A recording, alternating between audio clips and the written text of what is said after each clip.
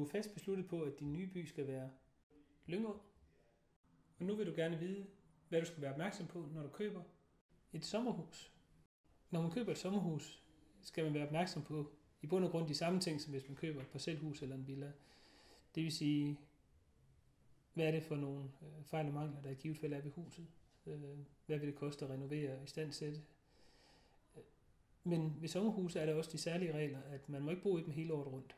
Øh, I sommerperioden må man bo der øh, hele tiden, men i vinterperioden er der begrænsninger på, øh, hvor mange øh, uger man må opholde sig i sommerhuset.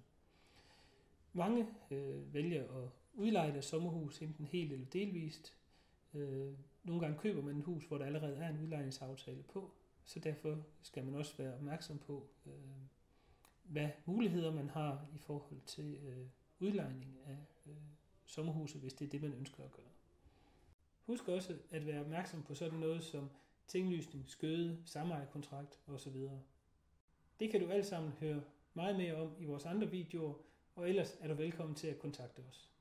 Det kan du gøre helt uforpligtende på telefon 86 48 33 22 eller på e-mail info advokat-sva.dk.